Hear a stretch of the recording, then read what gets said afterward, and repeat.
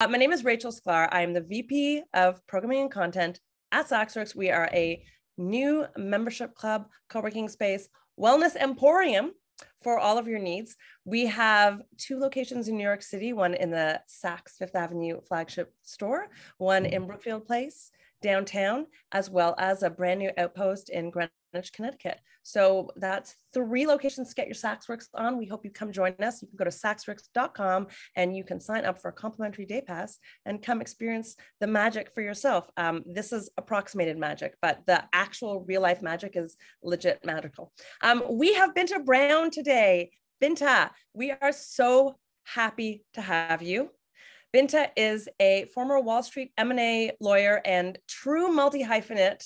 Uh, I don't even, I can't even like the, the number of things she's done. I will fail, Binta, in introducing you, but um, board member of the American Theater Wing. Yes, still, yes. Tony voter. Um, uh, worked closely uh, in the uh, Team Obama campaign in 2008 and perhaps other years. Yep. Um, uh, lawyer at Cravath, partner at Kirkland and Ellis, uh, participator in numerous IPOs, we can get into that, um, has worked with many startups and decided as a, a lifelong musician, is, is the music, is the instrument count 11 still, or did we up it during the pandemic? We did, we upped it, right? I think it's like, I think it's like 13. I think I play 13 instruments. Is timpani one of those? All of us play the timpani. Okay just a well placed timpani it's all the technique for, when you're interviewing someone about music. Um, anyhow, so I don't know. As always in these presentations, this may be my last presentation for SaksWorks. One never knows if uh, who's tuning in or we shall see. Um, a timpani joke. If that was the straw that was going to break the camel's back, I I would be okay with that. Um, anyhow, Binta decided she wanted to be a music executive. She wanted to, instead of working to support the industry, she wanted to be in the industry, make the magic happen. And in a blink, she was uh, in the recording studio with Chance the Rapper and uh, working with a variety of amazing artists. And now I'm going to turn it over to Binta because she's going to tell us all how she did it, how you can do it, why you should stay off social media, and why you need a lawyer. So it's which one should I? Which question should I answer first?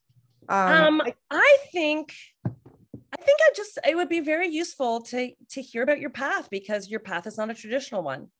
Yeah. So you know, I I, I read a lot, and um, and I'm very very blessed to have had to have, uh, well, I guess both. My father's passed away, but to have two extremely supportive parents who um, were kind enough uh, to raise me and my siblings to believe in ourselves uh, and to not see ourselves as being any different from anybody else. Um, and in particular, had a father for whom freedom and the freedom to choose the work that you do in the world uh, and how you benefit others was what he worked for, so that his kids wouldn't be constrained and wouldn't have to be um, in a position where you know, we, we had to t- take the golden handcuffs and, and pursue that life. Um, and so, uh, you know, I, I grew up loving music and television and film, um, also a documentary film producer. And, um, and I, I, have expanded my company, Rachel, you, you wouldn't know this yet because I haven't made any public uh, statements, but maybe eventually I will. But I've expanded my talent ma- management company to include authors as well um, uh, to package uh, to package films uh, and television projects and podcasts. Um, with, are we uh, breaking news? Are we breaking news here at SaksWorks Online? I think. I guess we. I guess we are. Yeah, I, I, I, represent a New York Times bestselling author, and we're in the process of uh, doing some really cool things. None of which I'm actually able to publicize yet. Um, but I, it's it's been really cool and it's a lot of fun because I love film and television uh, like really good high quality film and television almost as much as I love music. Um, and uh, I actually think that film and television are great ways to break music, but we can talk about that. Uh, if not today, then maybe at, a, at another time. So I have, I grew up with a lot of support and, and not only very supportive parents, but I have tremendously supportive friends um, among whom I count you uh, and so many other of our mutuals And so, you know, when I got this idea in my head, well, it was there was a couple of things. I had been interviewing probably since my first year uh, at Cravath with different labels and media companies. Um, we were talking about HBO before. I interviewed with HBO, which was a client of Cravath, uh, of Cravath's, um, and you know, I was getting various offers from these different places, but it wasn't really the work that I wanted to be doing. And my concern was that I would be getting further and further from the creative process as opposed to closer and closer to the creative process and to the strategy and to the business. Um, and so I, I, didn't really want to go and be a, a, lawyer at a label. I didn't necessarily want to go and be a, um, a lawyer at, you know, a cable cabler or, uh, you know, we didn't have the social media then that we have today. And so I just kept meeting and talking to people. And uh, in the meantime was doing my political stuff on the side and my philanthropic stuff on the side and trying to meet as many people as I could possibly meet. And at one point, you know, I'd been a, I'd been a partner maybe at, at Kirkland maybe for uh, two or three, maybe four years uh, at this point. And my father, you know, I, I'd started gigging at um, on Electric Bass. I don't remember. I don't know if you remember that era, um, but I was gigging on Electric Bass in different cover bands in the city. I, I there are a lot of people who might not remember this because I was actually re- relatively clandestine about this activity. I don't remember being invited, so thanks. But can you just uh, like very briefly, like the gigging, like what? So you is you're on, you're playing on the bass for what bands and what what what outlets, like what clubs? So I would just play in different cover bands, um, and you know, like all throughout typically, you know, like downtown in Manhattan and sometimes in Brooklyn.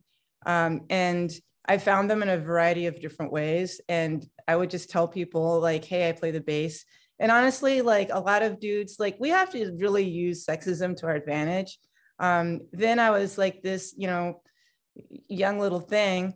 And like a lot of guys kind of like the idea of having a female ba- like i don't know why they they're into this but they're like oh cool you can like they, they didn't even ask if i could play like if I had skills. And then it turned out that I actually have skills. I'm a relatively decent bass bassist.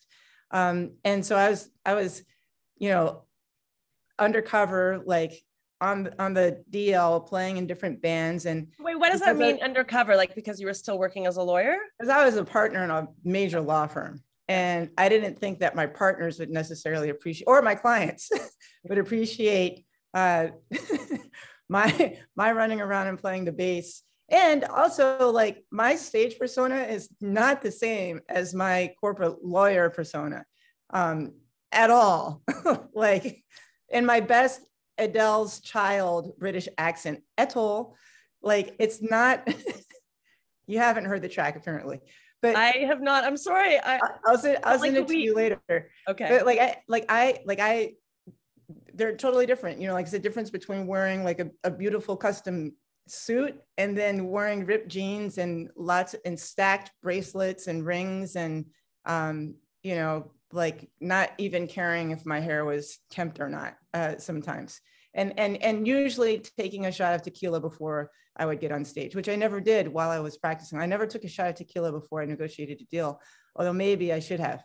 Um, in any event this so, is amazing. I i did, yeah, did I, anybody ever like find out and and come and then like stand in the background and be like hi hi where are you from? Your law firm hi.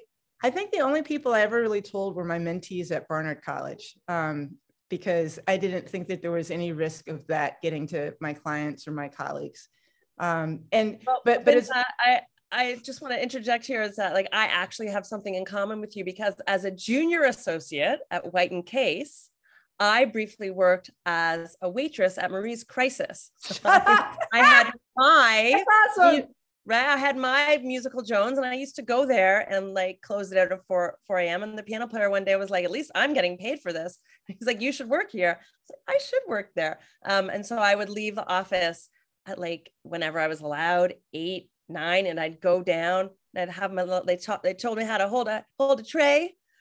Cause I was holding the tray like this with the drinks. I'm like, no, no, no, honey, that's not how you do it. Um, and uh, I did that until like, I was in my twenties. So I, I could manage it, but I wonder how many, I wonder how many, um, I wonder how many corporate lawyers are, are, are moonlighting in New I York? Think, I think many because corporate law for for a creative person is, uh, as I know we've discussed, uh, a little bit soul crushing. So let's get back because that's a good segue into why you left. So Sorry I was, you know, so I, on this call. so I, so I, so I was, I I had a show. My parents would come up from DC to my shows, and my father pulled me aside after one show. Actually, he did this after two shows, but so I'm, I'm, I'm combining two different conversations with my father post show. Um, and you know, he he basically said to me, he said, "This is what's in your heart. This is what your is in your. This is your passion."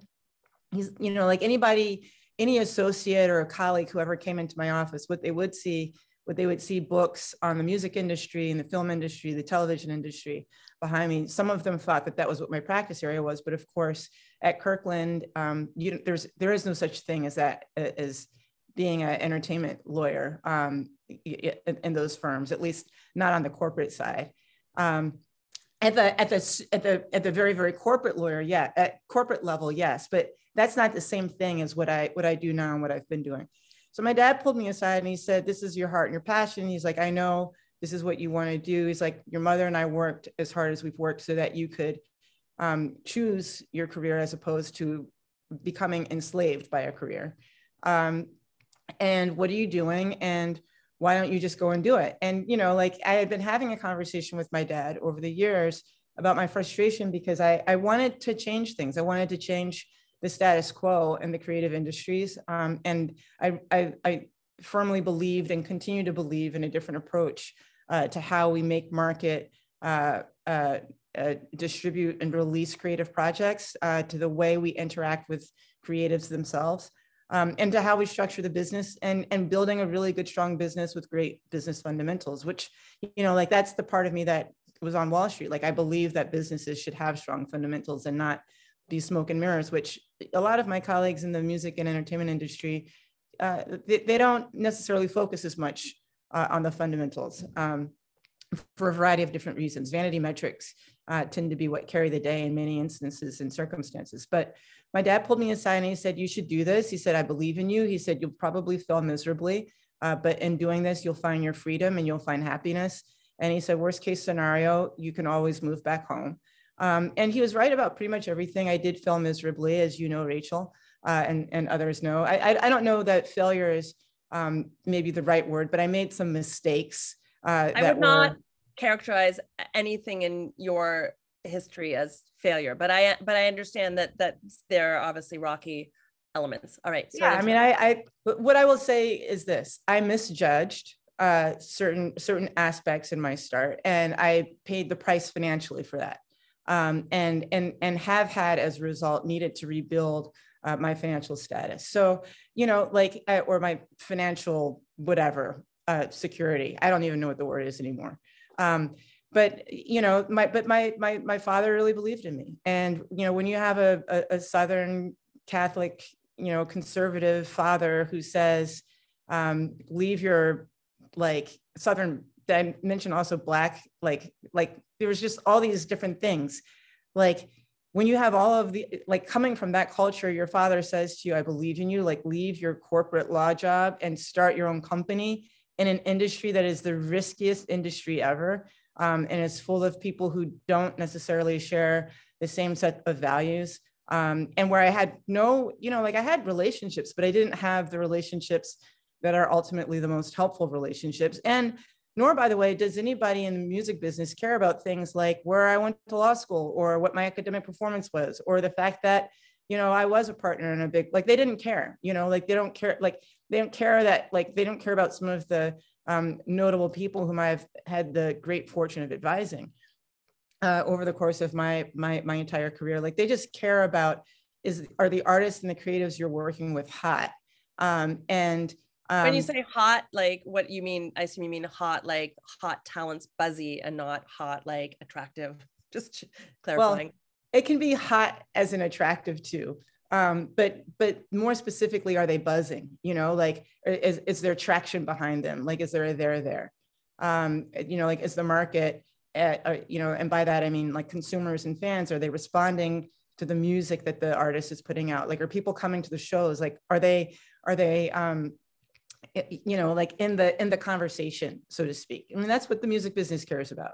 Can i stop you for two seconds? Because earlier you you you talked about like not not wanting to be held hostage to things like vanity metrics but i feel like vanity metrics contribute to the perception of whether or not an artist is hot particularly to people who might not come at it with sort of a pure artistic sensibility. They may come from the financing side and be eager for a quick hit or something. Um, how I know I'm like zagging a bit and you're zigging, but um, how do you reconcile those things and or what would be vanity metrics that you would say are reliable indicators? So I mean, the, the thing is, is that it depends on what you're trying to indicate, right? So um, most vanity metrics, for example, social media posts, like I tend to ignore things that are easily manipulated or can be manipulated, right? So streaming counts can be manipulated. You can buy streams, um, you can buy playlisting, um, you can buy likes, you can buy um, followers. You know, you can buy you can buy all of these different things, but what you can't manipulate are like are people actually buying tickets to your shows? Are people actually buying your merchandise? Are people actually like are your are, are, are your fans coming back over and over again do people come and listen to your track like the week it's released and then totally forget about it or do they be do they begin to develop a, a cohesion with you as the artist or the creative and keep going back over and over and over again and playing more? Um, you know like like that those are the things that matter to me. Um, and then the things that really matter to me are do you have money in the bank at the end of the year? Um, and you know like you do? Awesome. You know like you're generating revenue? That's fantastic. That's great.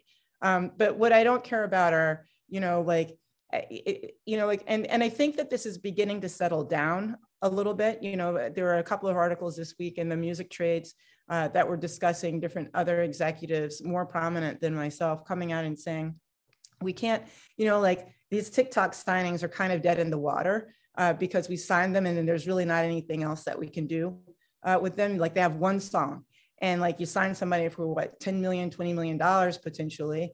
Um, you know, like, and that's like potentially, right? Um, and, and then, and then there's no other there there, like you're, you're dead in the water.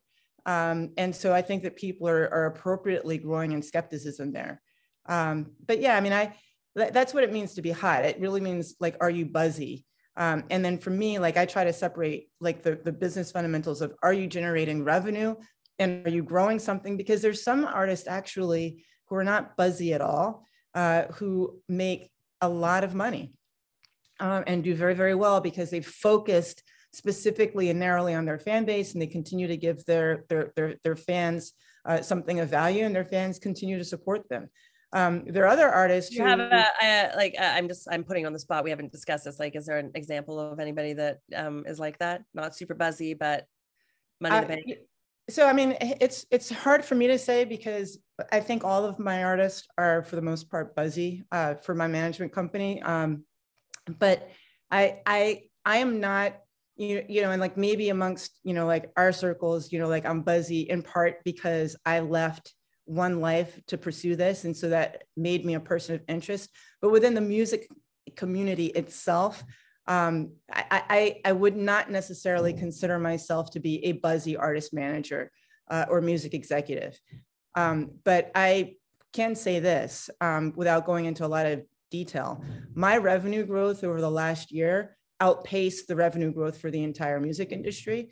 Um, and I ended 2021 in the middle of a pandemic um, with with with like by self-financing my company or or at least it finances itself through its through its revenues and earnings and i ended up with a surplus. Um, so and, and i don't know many people who can say that. Like i don't have a credit line. I don't have outside investment of any sort uh, at this point in the in, in my current business. Um, and I was still able to generate, you know, a, a, pretty good uh, uh, uh, level of revenue. But I don't, I don't really advertise that or broadcast that uh, because nobody really needs to know. But I am pleased. Again, I, we are breaking news here at SaksWorks Online. You heard it here first. Uh, you know, I was, I was really, you know, I really focus on performance, but at the same time as I'm focusing on performance, I do focus on the vanity stuff because the vanity does it, it, it helps, but it just can't be the end of the story is what I'm trying to say. Got it. Got it. I'm sorry. I didn't, I didn't want to interrupt you because you were, you were talking about your, your, you know, growth and the things that actually matter. Um, but uh, I did want to sort of hop in on clarifying that. Um, okay, so uh, I totally interrupted you. Um, so you no this is great. you, your dad takes you aside right? amongst friends. Yeah your, your dad takes you aside uh and and just like my parents did said go pursue your artistic no i'm just kidding. My parents were very enthusiastic about me going to law school but you know uh I, the classic sort of thing is your the parents will say like what are you doing? Go get a job. Um, but then also a parent who really knows you and sees you will say, go pursue your dream. My parents. Yeah, my dad said, my what are you doing? You've got a job and a great career. Go blow it up. I mean, I think there is a certain time in your in one's life, right? Where you where you do, especially I think a lot of people certainly in the pandemic there was a point of like okay what what do i want to do when i emerge from this uh, you know if i once i write the financial ship which many of us had to do what what do i want to do? I these these i lost two years. I lost whatever the path i was on. What's next? And and you know new technologies emerging and new opportunities and new paradigms. So there's there's and you're certainly a testament to that because you the you've experienced such professional growth during the pandemic.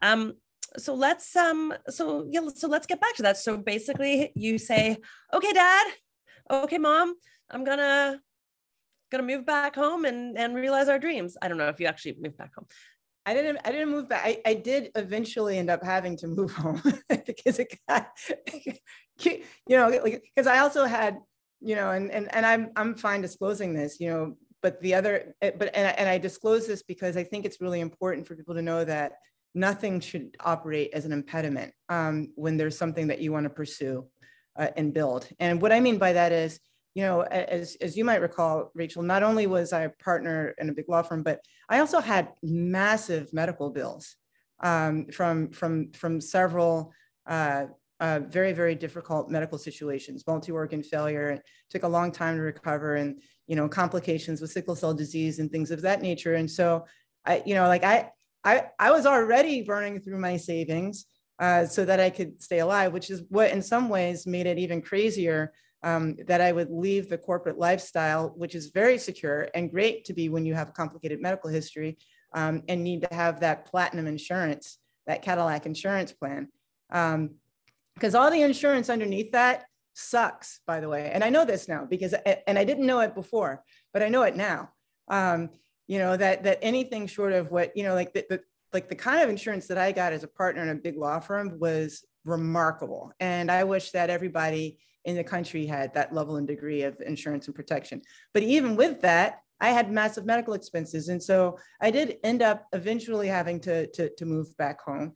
Um, now I'm now I'm there by choice, although I, I have a, a place in Chicago and um, am frequently in hotels in uh, New York and uh, uh, New York and, and, and Los Angeles. But, um, I, you know, I did, you know, like I, I it, it, was helpful for me to go back home. So what, what I did was, you know, I, the first thing I did, I left my practice. I went to Harvard uh, for two years. I did a fellowship there where I um, spent more time studying the music business and um, understanding different models and thinking about what I could possibly do and building more relationships.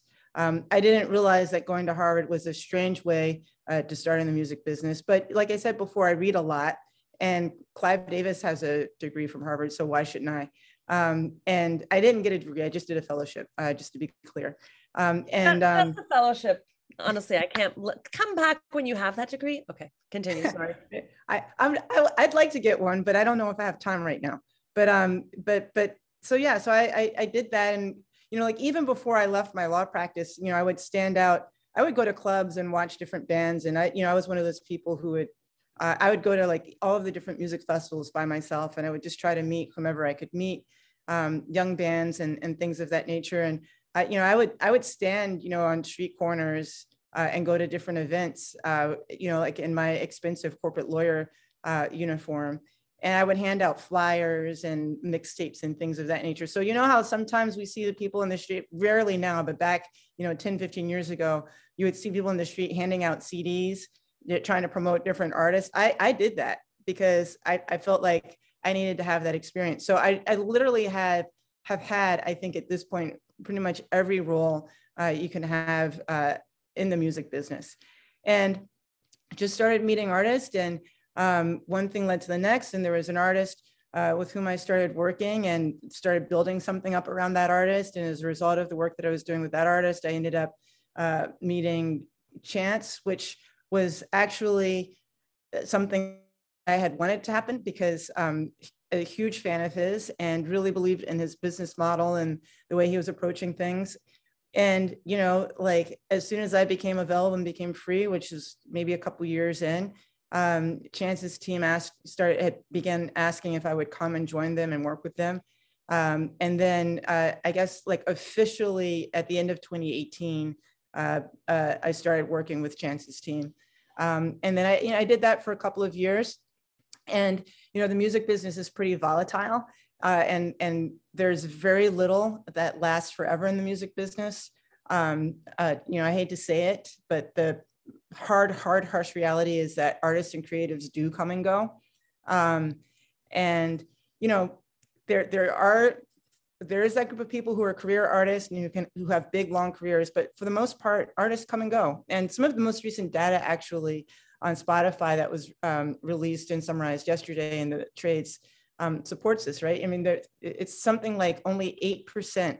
I might get, I'm probably going to get these numbers wrong because I'm still studying them, but um, maybe only 8% of the artists who release through Spotify are generating enough income uh, to like call it like a life. Uh, and, you know, to, to, to, for it to be a business, so to speak. Um, and a lot of the artists who are in there, like I think like some something like 5.8 million of the artists who release have le- have released less than 10 songs, right? So we don't really consider that to be a career necessarily, or they have less than 10,000 monthly followers. Um, so the vast majority, you know, so artists and people who call themselves creative, they come and they go, they're in and they're out. Um, and then there's the rest of us who are building businesses around that. And, you know, like we tend to, we tend, some of us come and go too. So it's a pretty volatile um, industry for a variety of different reasons. And, you know, like things in the chance operation, you know, I'm very pleased to say, by the way, he has a new single out today, which everybody should check out. Things in the chance operation. Wait, wait, wait. What's me. it, what's it called? It's called Child of God. And my artist, um, Peter CottonTale is the producer of that track. They worked on that track together when they were in Ghana um, uh, in December and January of this year.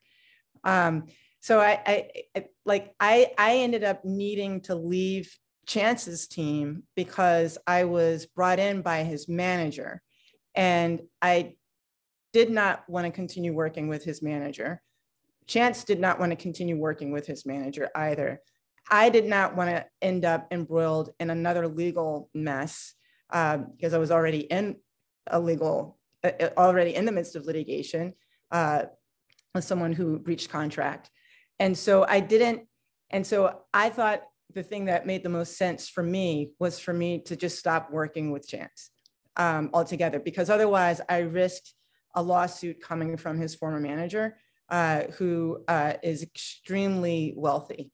Uh, and I wouldn't have been able to defend that. And I just didn't, I didn't want the trouble. And so I, you know, I cut things clean. I joined a label called Keep Cool, which was in a joint venture with RCA, um, headed by Tunji Balogun uh, and in the meantime continued refocusing on rebuilding and restructuring my own talent uh, uh, talent and rights management uh, company uh, and getting into film uh, and putting out th- this little film called fly like a girl which i highly recommend to everybody which is about the, the history of women and girls in aerospace and aeronautics it's a great film um, and, and building a, a production company a film production company with my partners in florida so I, yeah, I mean, it's just one thing kind of led to the next. And what I've tried to do um, is to be prepared uh, and to, to meet as many people. I, you know, I, I've learned a lot about myself. I've learned about how to you know, set aside the Wall Street persona because it doesn't really work in the music business in the same way.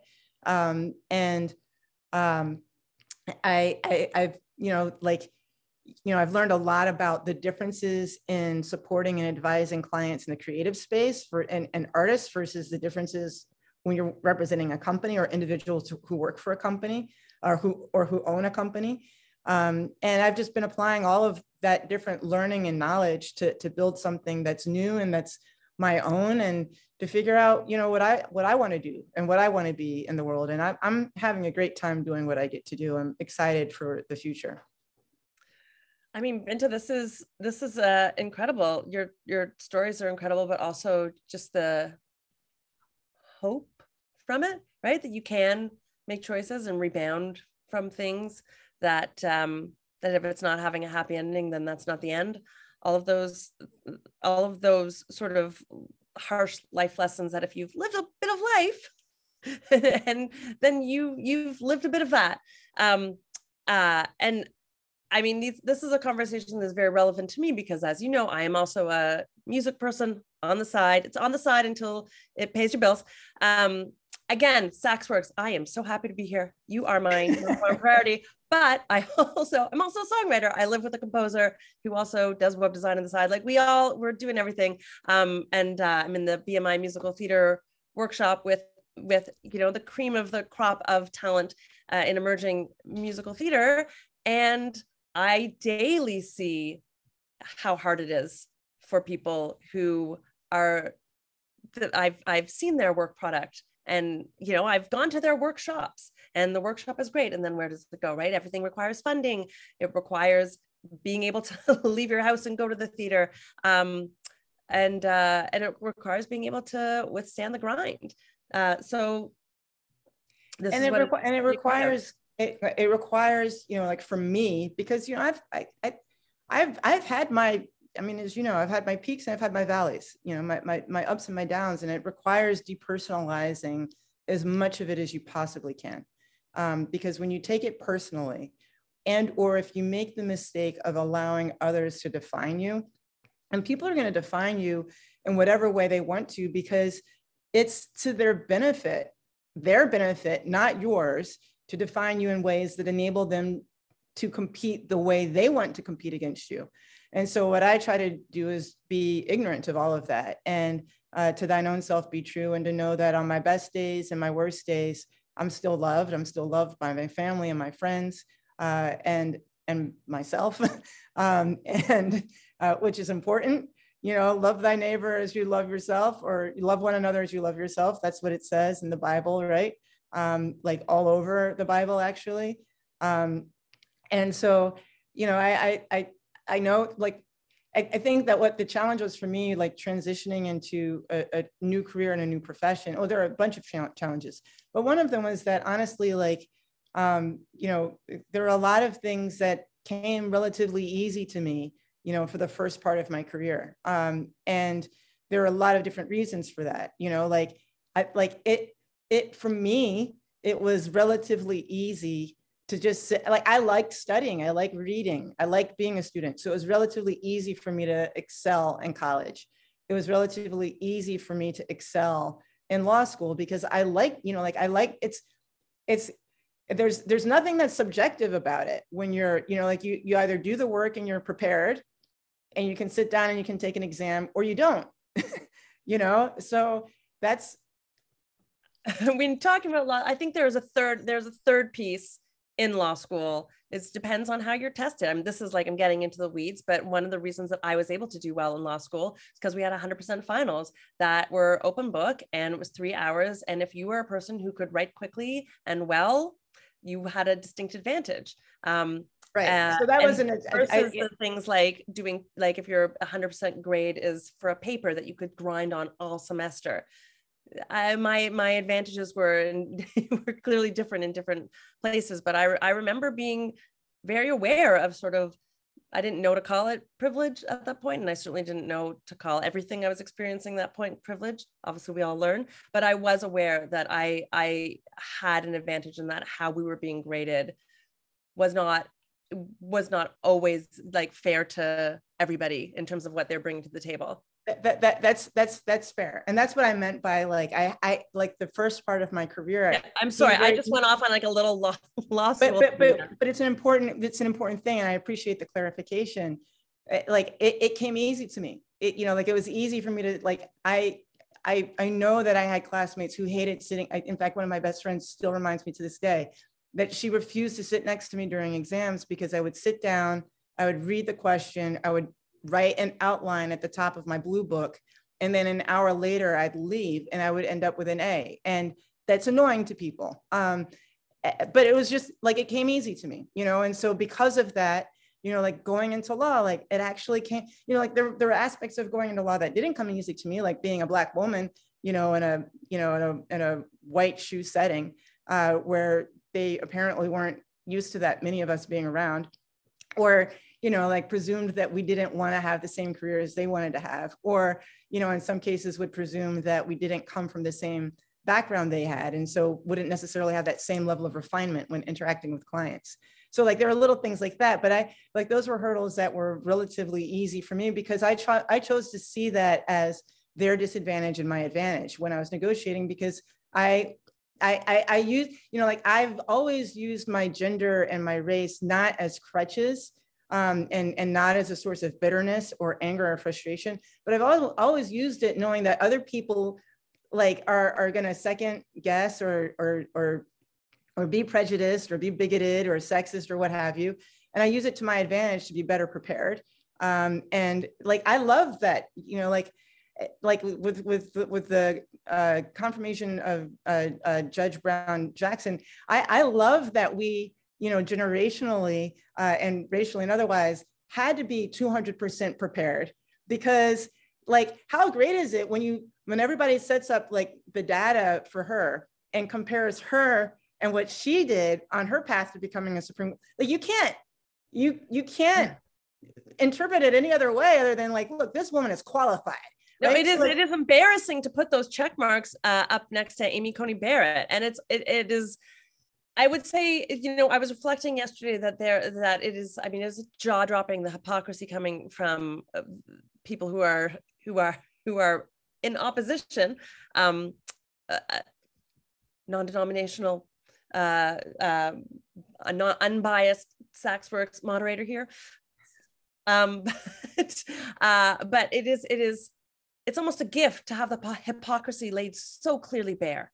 It's like, come on, Mitch McConnell, you are not fooling anybody here. Anyone, anyone. So, you know, like I, I, I use that to my advantage, right? Because there's certain, you can't, you know, you can argue with opinions, but you cannot argue with facts. And if you argue with facts, you're an idiot. It's a waste of time, right? So, like, I do love you, Binta. Like, and and and the the facts are what the facts are. So, like, I use, I've always used this to my advantage and said, you know, like, there are going to be certain environments in which I know that I'm going to be counted out. But here's the thing going back to what I was saying before my parents raised us to not see ourselves as being any different and certainly not less than any other person based on gender, class, race, religious like any of it. Like they raised us to believe in ourselves and to think that we could do whatever we put our minds to. And so for me, the whole the whole trajectory of my life has been have I adequately or in some cases more than adequately have i put my mind to it? Have i put my heart to it? And if i do that then i should be fine. Um, and you know it's just the music business there, there, there are a couple and, and entertainment in general like there are a couple of other factors you know like because people come to music and success in, in music in so many different ways i compete against a lot of people you know like i can I, I i did one of the mistakes i made was i did think that my pedigree mattered. It doesn't at all like it doesn't matter. Like I, I thought that who I knew mattered. It doesn't really matter. It matters what I can do for the people whom I know, but whom I know doesn't really matter. Like what matters is is the stuff I'm working on cool and do fans like it? Yes, they do. Great. That's what matters. You know, so it, it like it, it's very different from you know some of the other things where you know like as a young lawyer in New York, like it you know like people acted like it mattered which law firm you went to or where you went to law school or how you performed in law school like those things they didn't matter in the music business because half the people i'm competing against don't have have only a high school education if they have a full high school education. Some of them, like the capital that they use to start their businesses, ill-gotten gains. That's all I'll say. Like it wasn't necessarily like work on Wall Street, save some money, help some companies go public, move in with your parents for a little while.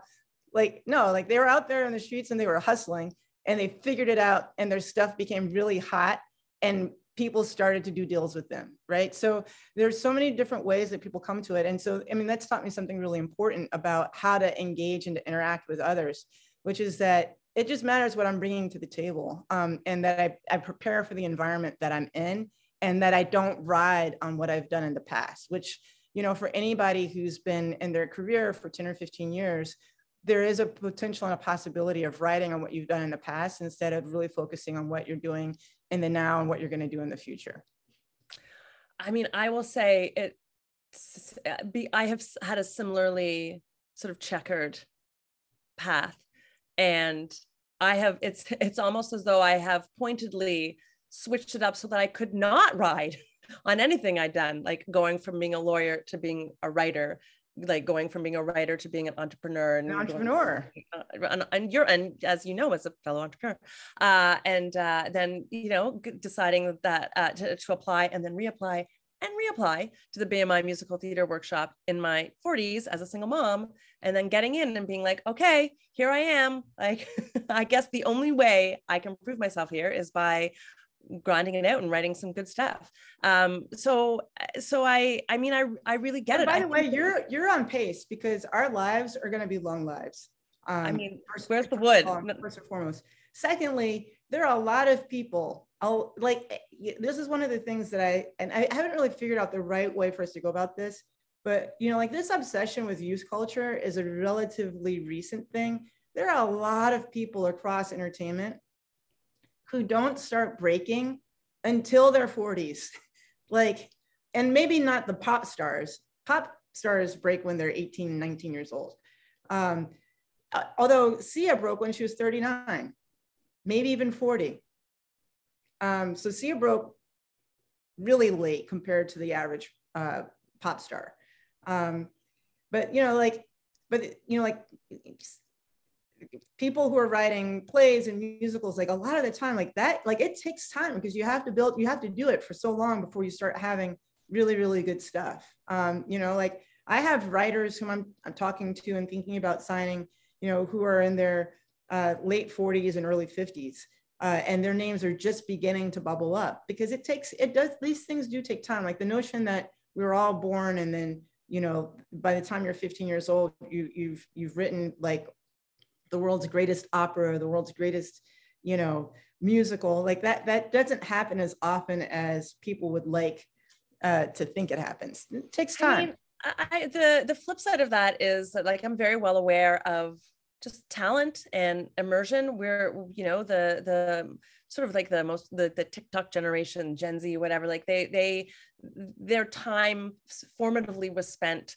really immersing in this new technology and and developing their talents um, and and I feel pretty happy to be learning from those people and and and hopefully but also be able to you know like bring something to the table. It's it is it has mostly been exciting. For for me i'm i have like certain built-in limitations now in terms of what i can pursue and uh, but at the same time uh very there's lots of things that are exciting to contemplate. And i think there's always something exciting to contemplate if you are a curious person who has passions and responds to where the world is going and you know and the, and limitations and constraints are strengths when we choose to see them that way. That, i mean that's something that i've i, I and I, I forget this every now and then but but there but there's you know so let's take the pandemic right? Like i i like like in 2020 all of our concert like concert revenue is like a substantial portion of the money that we make uh, in music. And, you know, like we all, like all of my artists, myself, we faced potential financial ruin as a result of the pandemic and the shutdown of live. Um, but I, you know, I, I, worked with my artists and what we all decided to do was to see it as an opportunity um, and the constraints and the limitations that were imposed on us. And I think that that's why we we all came out of it relatively well. Um, and you know, it's not to say that it's perfect, you know, because everything is ups and downs. Um, but a lot, it, it was choosing to see it not as the end of the world, but the beginning of opportunity and a different opportunity. So the different constraints that you have, um, as serious as they may be, you know, sometimes it's it could be your source of greatest inspiration. It could be the inspiration that you were looking for. Um, sometimes it could be something that causes and forces you to discipline yourself in different ways um, because you realize, you know, what's writing on it. You know, like I, I oftentimes think about something that Barbara Walters once said uh, around the publication of her memoir.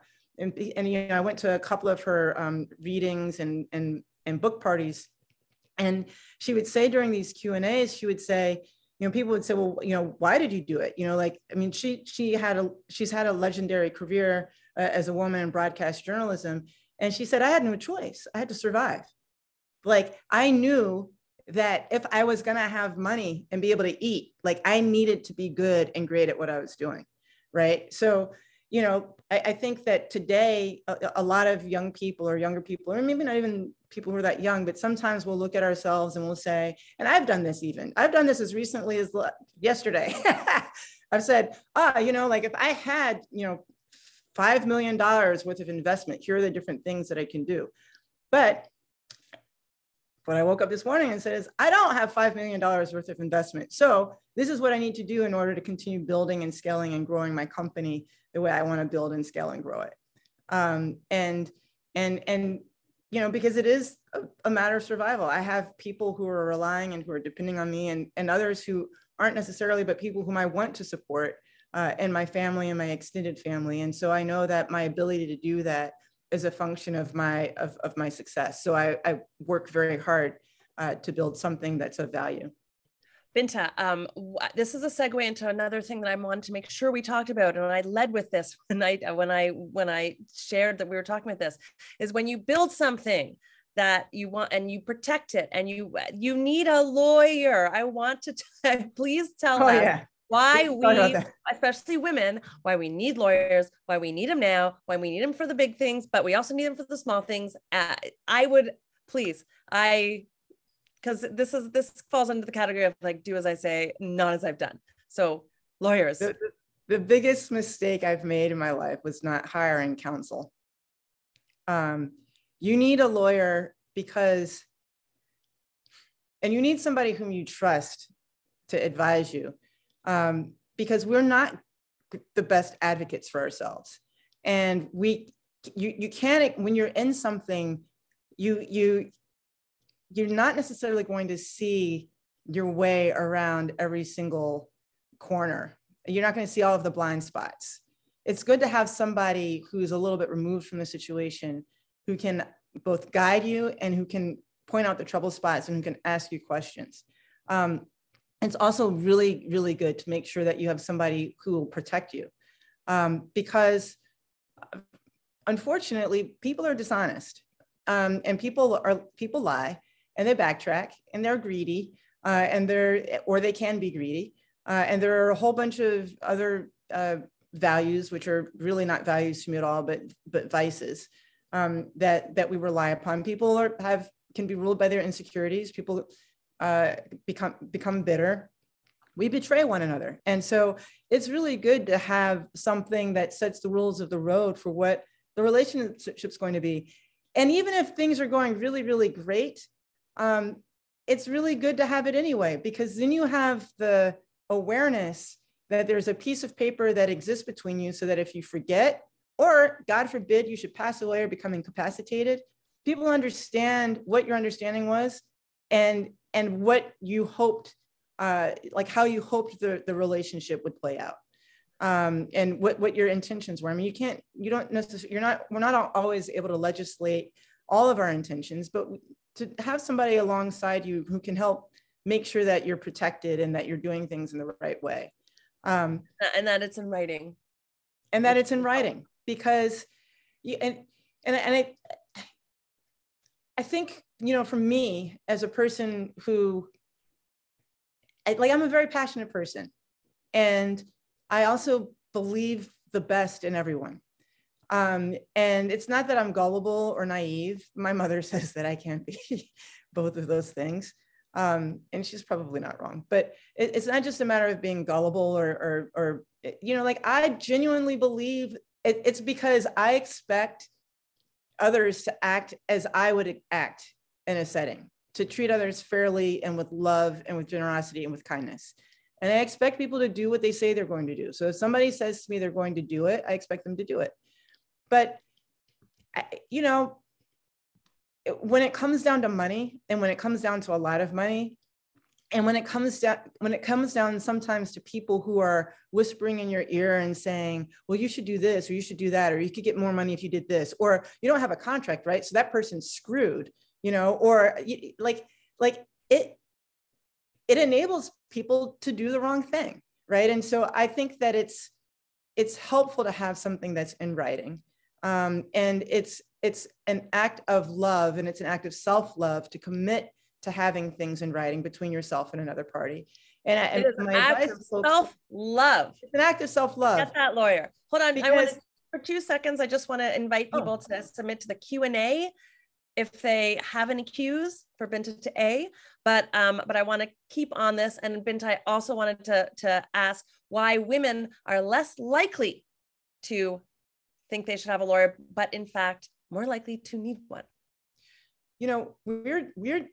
I think that we are, and I and I think that it's different depending on i'm not going to say that it's different depending on whether you're a white woman or a black woman although i think that that's what some people would say um, I think it's different depending on how you're socialized as a woman.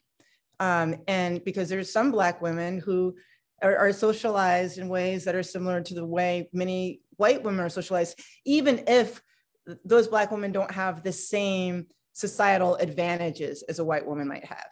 Right. And so to me, it's really important to, to, to, to suss through that because I, I'm one of those in between people, right? Like I, I, I'm like a third culture kid in the way that I grew up and, and was raised and what I was exposed to.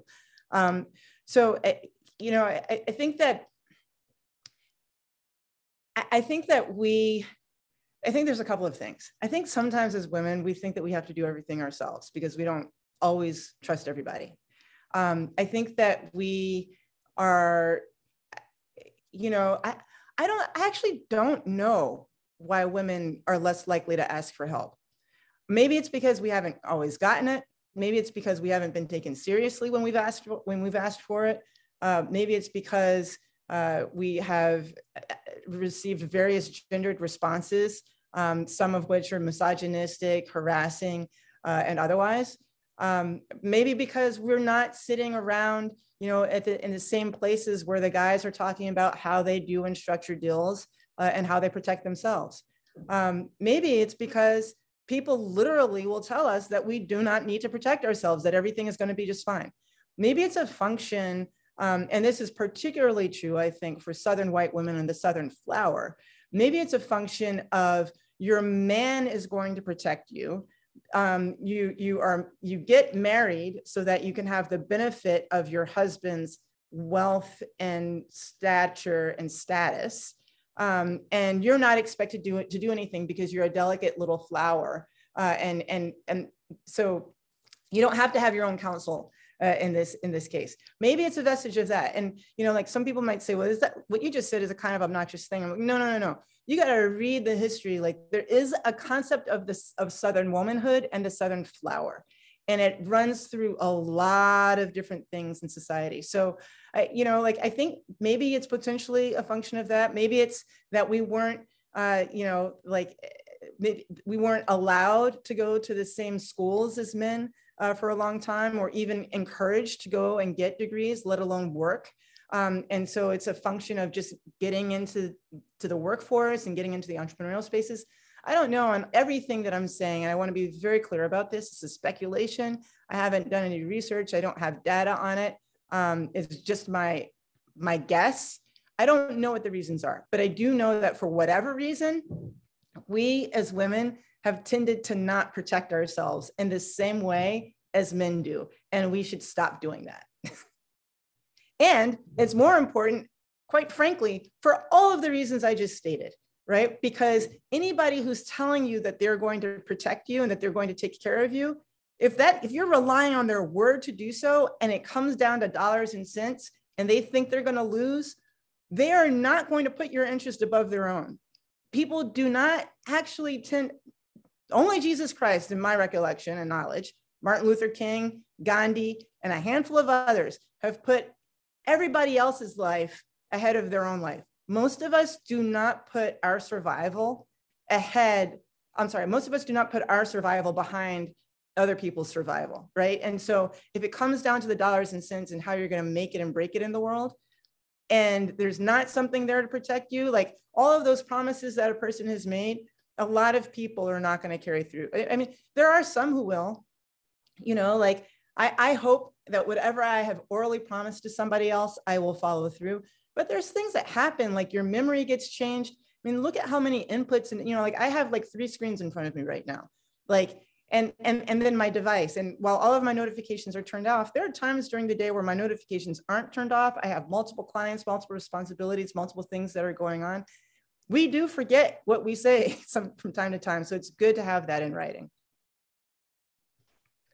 Yeah, I, I, hope think, that I've answered your question. No, I think you've you've more than answered it. I'm I'm I'm. We don't have a Q and A, so I wanted to just um, push it a little bit more. I think that there, um, you know, uh, it's there there.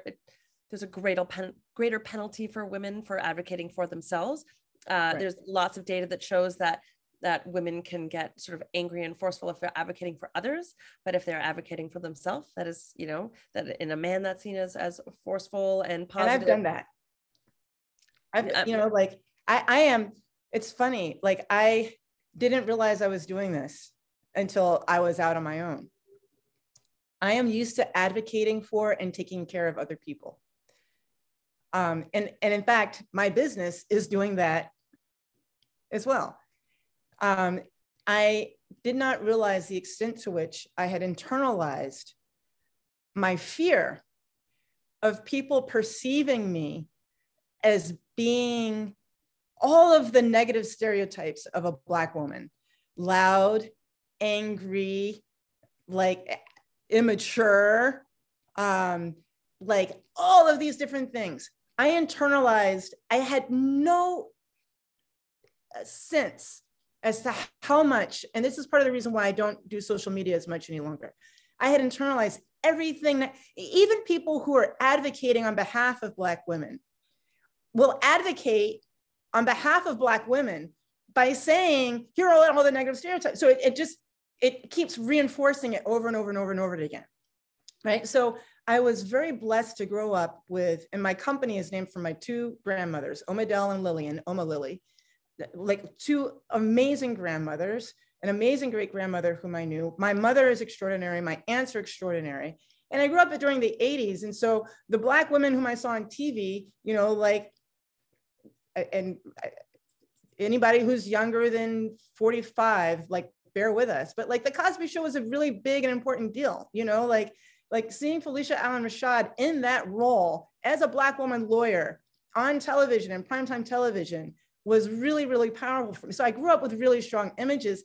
And then there became this period where I was inundated with all of the negative Im- images, like things that my parents had actually protected me from. And, and, and I had no sense of them until I was in my 20s uh, and maybe mid 20s. And so when it came to advocating for myself, because I was so concerned about that stereotype, I backed off. And I literally said to someone, and this has cost me a half billion dollars. And this is why I am so adamant that people get legal counsel. I said, it's okay. It will all be, because I didn't want to be the loud, angry, aggressive. I didn't want to be accused of being a narcissist. I didn't want to be accused of, of all of these negative stereotypes of Black womanhood, which in the litigation with this person, I was accused of anyway. so like, it's not, it's not like, it's not like you can win. So it's really important you know like and and and judge brown jackson in her hearings and her her testimony and everything this week that she said and it's so important when she said it's really important to shut out all of that noise and to do what's really important to protect yourself. And if you think that you might not protect yourself because you're aware of stereotype and you know like even the southern flower thing i said before that's enforcing a negative stereotype of southern white women and southern white womanhood. Like it's like if if you think that you might not have the ability you the thing to do is to go in to get somebody who's going to speak for you and argue for you and advocate for you in the way that you advocate for others right the other thing that we have to do all of us as women regardless of our race income background any of it the other thing that we have to do is we need to think about it from a meditative perspective, which is, you know, take it, observe it, throw it away. Don't ingest it. Don't allow it to define you. Don't let it allow it to affect you. Right. And and and I did that, you know, and I and I and and and I understand in my case, there are other things like when you have multiple stresses, you have multiple factors, multiple things that are going on in your life. So for me, I was in, I was losing my father. I, you know, I was financially insecure for the first time, not in my career, but in my life.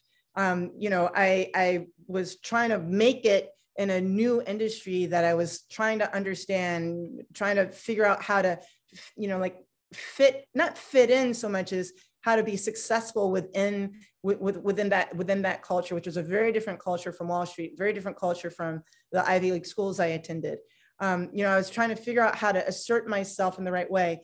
There's a lot of stress, compounded stress that is upon us. And I think that w- the more that you have going on, the, the more wary you are. Uh, and, and there was something else that was happening socially, which is uh, Twitter, Instagram, Facebook, and the kinds of things that people will say in the media about all of us, right? And the more you are exposed to that, it can kind of get in your head a little bit and you can start thinking about it. And so, you know, I, I, I had very, you know, I, I have certainly internalized different forms of white supremacy. I have certainly internalized and, and, and had to deal with the fact that I internalized these things, internalized negative stereotypes of, of Black womanhood that I shouldn't have, and that colored the way I was moving in the world.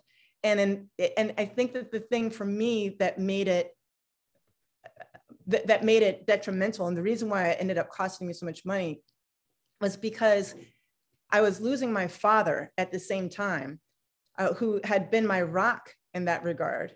Uh, and had been that confidence. And and he wasn't well enough to be the person who whispered in my ear and saying you need to go and get x y and z. Um, and he would have actually had he been had he been healthy.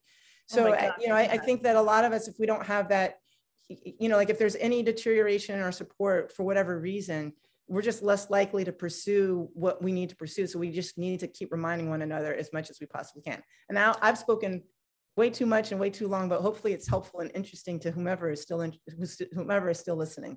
That no, I am I am pretty sure that you just um, saved uh, at least one person, probably more, uh, significant funds at some point in the future because it's it's it's true. You need you need to protect yourself. You need to listen to yourself. This is the takeaway from everything you've said is like protect yourself, listen to yourself, trust yourself. And, uh, and, and, and protect yourself you know like i you know like i know that a lot of us use social media as a tool um, but we have to be aware uh, you know and everybody likes to talk about social media having a negative effect on teenagers minds and brains and my argument is that it's not just having a negative effect on teenagers. I think that it has a negative effect on everybody. And I, you know, I'll close this off by saying part of the reason why I it was I wanted to be in music, uh, film and television and media, was because what we do has an extraordinary effect and impact on shaping the way we think about ourselves and one another and how we relate with one another. And if we want to have progress as a society, the kind of creative we're exposed to really does matter, right? So, why was Donald Trump elected? In part because of the kind of crap that had been put up on television for as long as it's been put up on television, because of what was happening in the news media. So, it matters who's running these companies. It matters that women be there. It matter that matters that people of color be there. I think it matters that Black women be, be there and that we be visible. Like it matters. It matters who is running these businesses because these businesses, more than our politics, more than our laws, more than anything else, these business, and this is, you know, like, why did Putin shut off everything? Because the images we're exposed to shape how we think about ourselves, one another, and the world that we're in. And and, and so it is critically important that we think about what we're exposing to our, exposing ourselves to, the toxicity of all of it when we go on and we're doom scrolling. You know, we, fo- we notice that our anxiety is increasing. We notice that we're getting more depressed, that we're growing in hopelessness and all of these other different things. Why? Because we are exposing ourselves to stuff that doesn't isn't fulfilling to us as humans you know like it, it's it's not going to make us feel better so i think it's that's why i've stopped using social media as often because it doesn't make me feel good. Um binta this this was an, a jam-packed ex like finish. We are so over time so i i feel bad about who i'm keeping from whatever else i have to do. Um go get lunch everybody. but uh but i i wanted to thank you for this.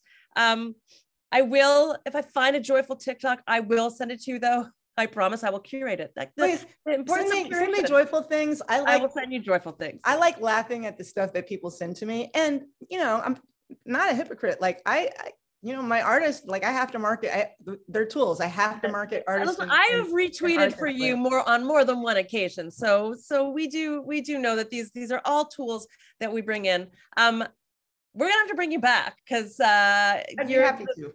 You have a lot of amazing um, a lot of amazing wisdom to contribute. Thank you, everybody who stuck with us uh, and joined us today. Um, Binta Brown, you are a marvel. Uh, I'm so happy to have had the chance to talk to you uh, and can't wait to welcome you back, clearly. Thank you, everybody. Let's do this again. We will. Okay. Bye, everybody. Thanks from SaksWorks.